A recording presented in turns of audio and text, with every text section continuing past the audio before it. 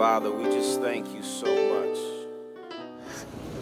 Hello, precious partners and friends, and those that are listening around the nation and around the globe. We bless you in the name of Yeshua HaMashiach, all the way in the state of California. I want to let you know there's some folk in the state of California, millions of us that are yet singing praises unto the Lord, yet uh, worshiping the Lord in spirit and in truth, lifting up holy hands without wrath and without doubting. You know you cannot stop kingdom ambassadors. You cannot stop worshipers and warriors uh, and those that love God in the name of the Lord Jesus Christ. I want to talk to you for a few minutes dealing with the God of multiplication.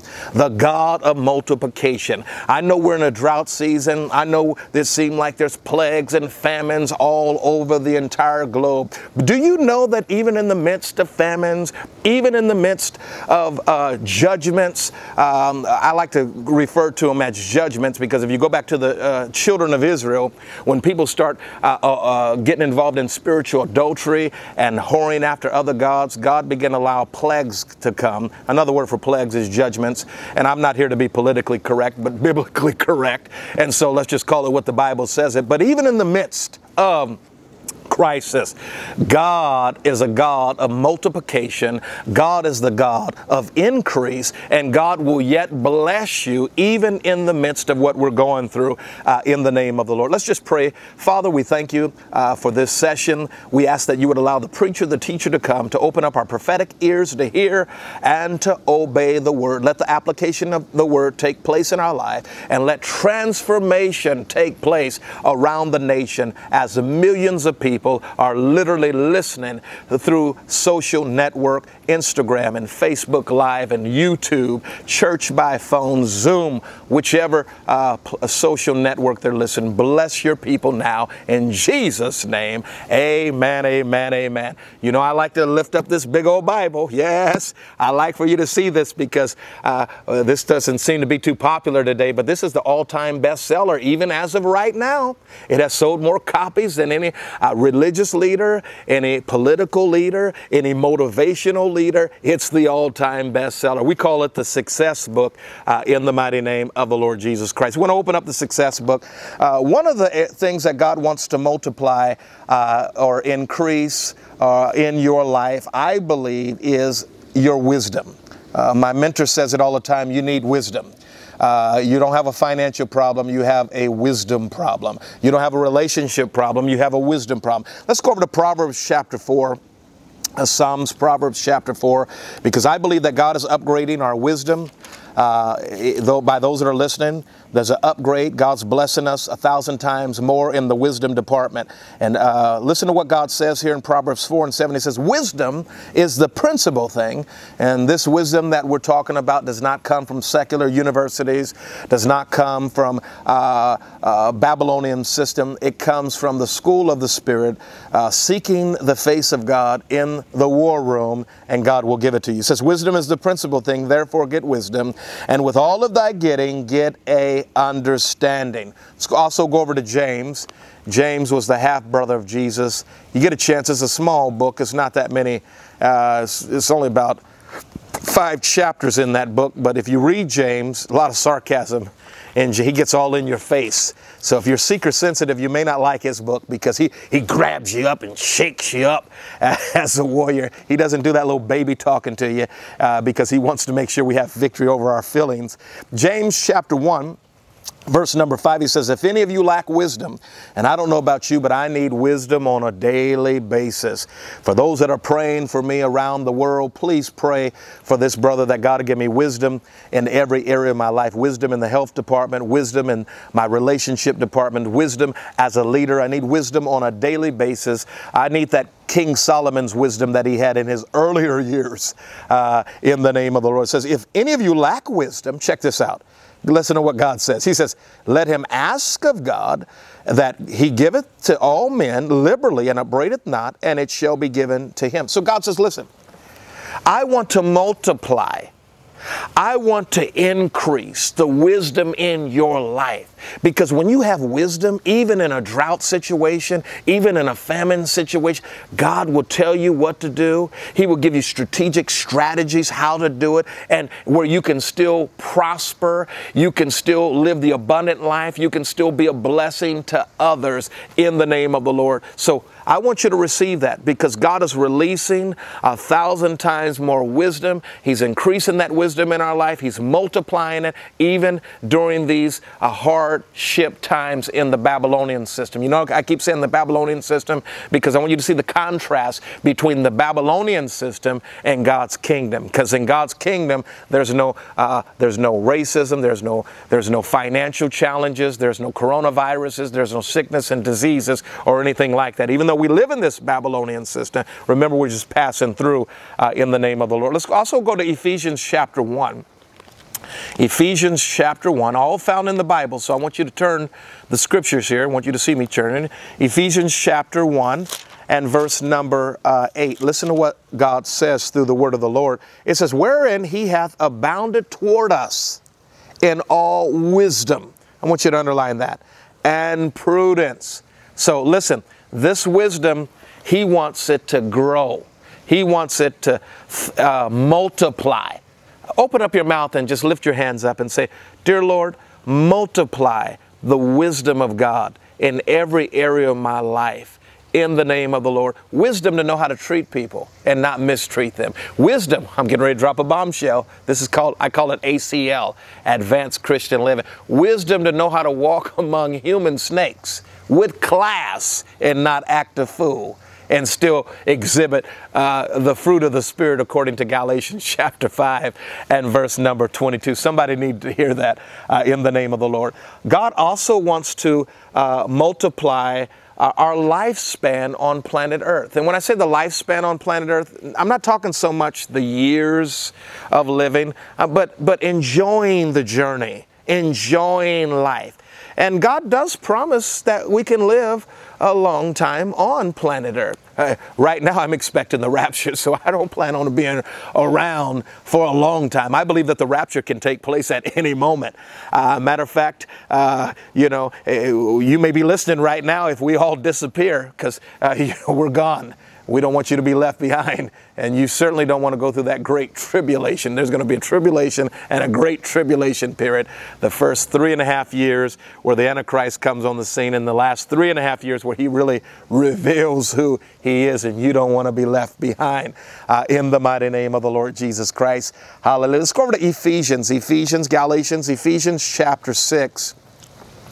And let's read starting at verse number 2 and we want to read verse number three. Honor thy father and thy mother, which is the first commandment and with promise. Now, I know all of you should know the Ten Commandments. Come on.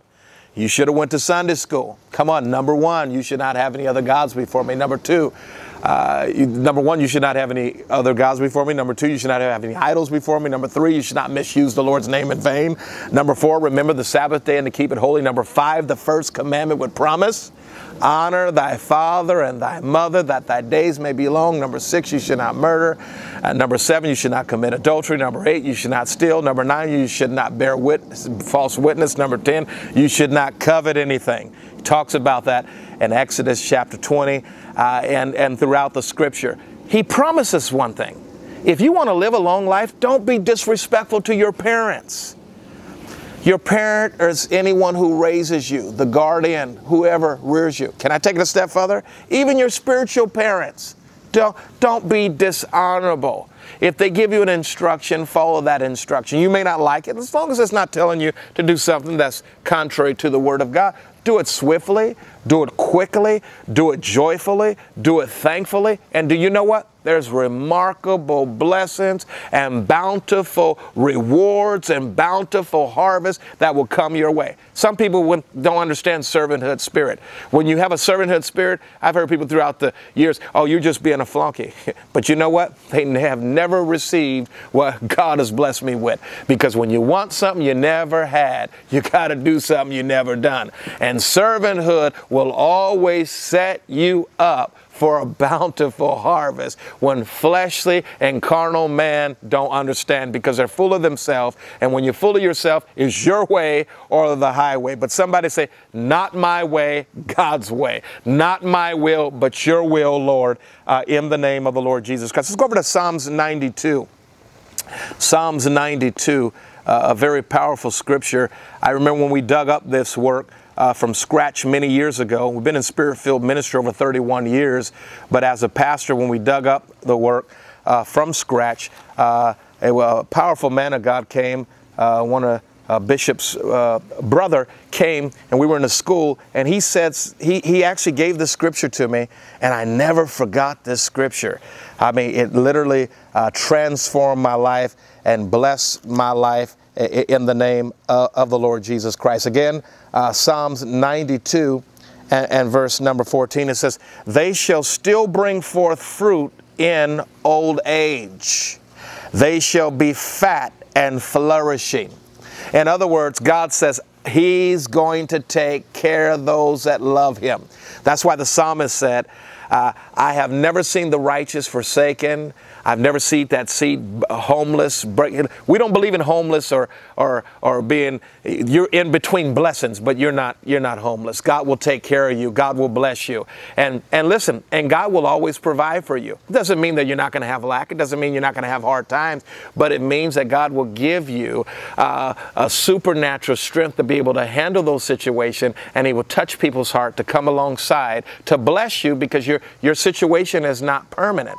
It's only temporarily. And what happens is He'll bless you so you can receive those blessings, and then you can learn how to bless someone else when He gets you out of the predicament that you're in. Another area that God wants to multiply in your life, He wants to increase in your life. He wants to, the miracles you experience. Now, you always hear me talk about miracles.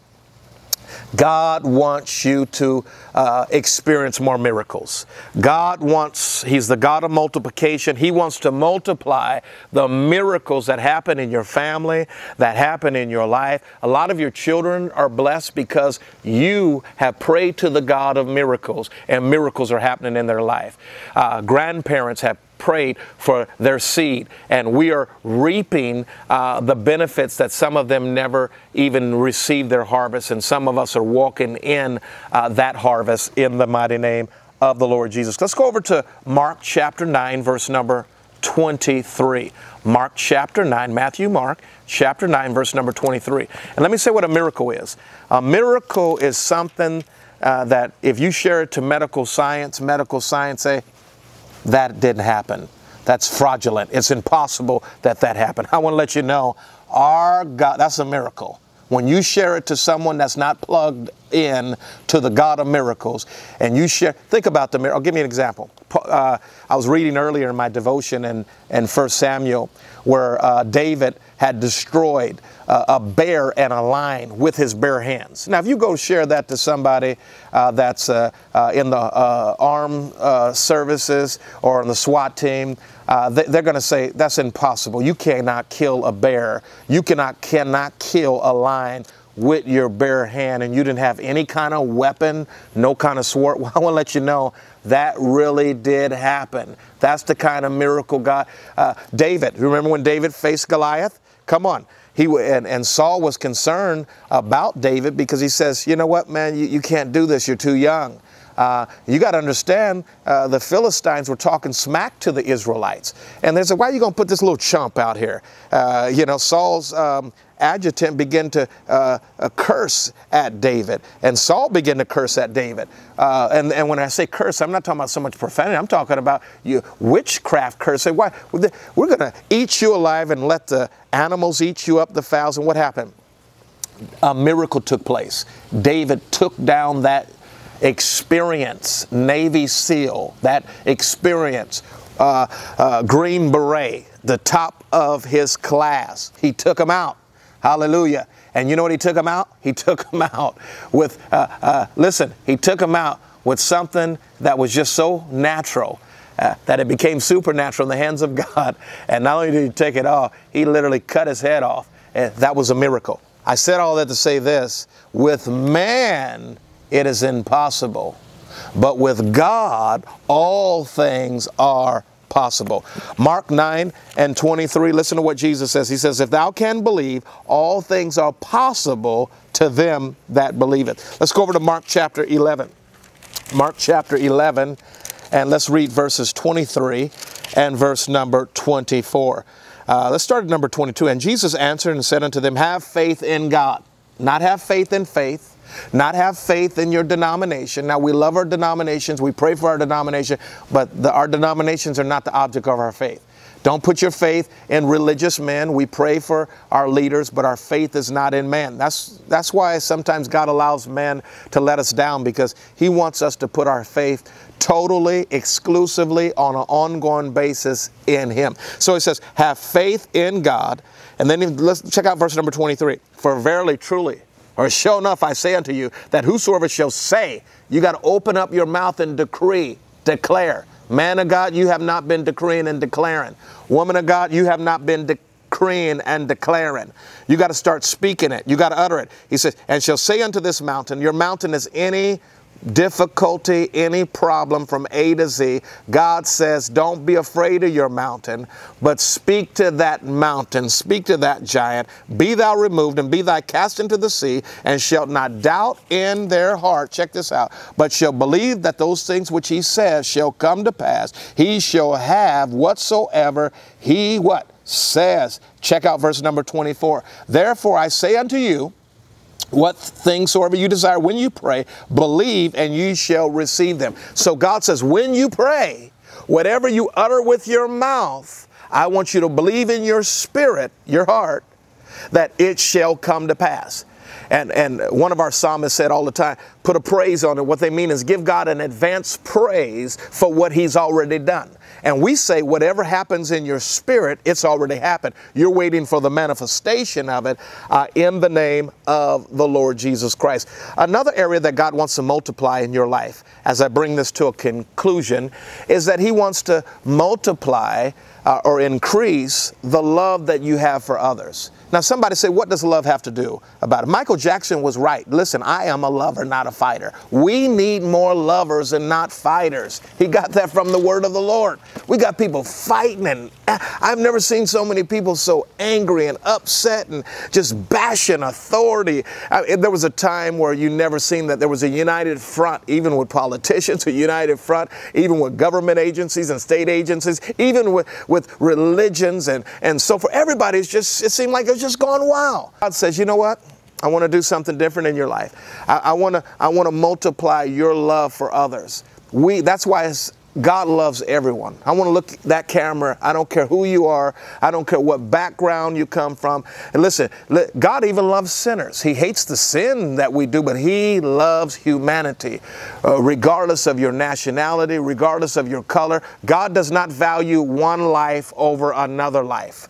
Now, some people do that in the Babylonian system, but God doesn't do that. He loves everyone. And he, His love uh, is that agape love that has no attachments in the name of the Lord. Let's go over there very quickly. And uh, in John chapter 5, verse number 8, listen to what God says. He says, Glory to God. I get excited about the love of God because He, one, you know, there's a song out there.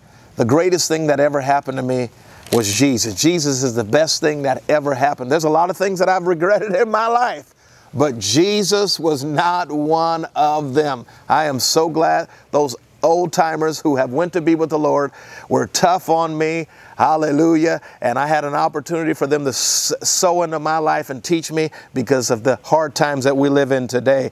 I don't think I could stand if I had not had those uh, mighty warriors in my life. Verse number, he says, But God commended his love toward us that Christ, but God commended his love toward us in that while, while we were yet sinners, Christ died for us. Hallelujah. One more scripture, 1 John chapter 2. 1 John chapter 2. And let's read verse number 5 because I think that we need more love in this world. We got too many Christians fighting other believers. Come on, we got to stop that. Let's repent of that. Come on, we've all done stupid stuff. Let's all repent and get it together and start lining up with the Word of God. Listen to what God says here uh, in, in verse number 5. It says, This then is the message which we heard of Him and declared unto you that God is light And that light ties into the love. And in him is no what? Darkness. And we live in a world now where it seems like men love darkness rather than light. But you know what? This is a great opportunity for evangelism, for the light to shine in the midst of darkness and to rise up in the Holy Ghost like the book of Acts. Those men were not afraid to preach Jesus Christ and Him crucified. Those men in the earlier church, you and I believe we may have to go back to house churches, but you know what? We're going to rise up in power and authority. We're going to see miracles, signs, and wonders, and the God of multiplication is going to take care of you in the name of the Lord Jesus Christ. Let's pray. Father, in the name of Jesus, I pray for those that are listening around the globe, around the nation. I pray that the God of multiplication would begin to increase your people in every area of their life. Those that are going through challenges, those that are sick in their body, I pray that you would release a miracle right now in that hospital in the name of Jesus. We pray that you would turn the situation around. Ah, God, you're a God of miracles. You're a God of breakthrough in the name of Jesus. And if you've never accepted Christ as your Lord and Savior, the Bible says in Romans chapter 3 For there's no none that's righteous, no, not one. I don't know how anybody could be so self righteous and stuck up. I don't care where you, God doesn't care where you stay. You can stay in a gated community, you can stay in the hood, wherever. At, the end of the day, we're all going to die. I'm going to look at that camera. We're all going to leave here, regardless of your education, your background. And the only thing that God is going to ask you, what did you do with Jesus Christ? What did you do with your gifts and talents? What did you do with all the favor I gave you? Did you share that favor with those, hallelujah, uh, on planet Earth? Glory to God, so they could advance the kingdom of God in the name of the Lord. If you would like to accept Christ as your Lord and Savior, and be part of the family of God, a global family where there's literally millions and millions. I want you to pray this prayer with me. Say, Dear God in heaven, forgive me of all of my sins. I renounce and denounce every demon and every devil out of my life. And I believe that Jesus died for my sins. And that on the third day, God the Father raised him from the dead. And right now, Lord Jesus, I invite you into my life as Lord and Savior. If you prayed that prayer, the Bible says in Romans 10 and 9, all I got to do is, thou, if thou shalt confess with thy mouth the Lord Jesus and believe in your heart that God raised Jesus from the dead, thou shalt be saved. We're praying multiplication, we're praying increase in every area of your life. Until we see you on our next telecast, the Lord be with you in Jesus' name.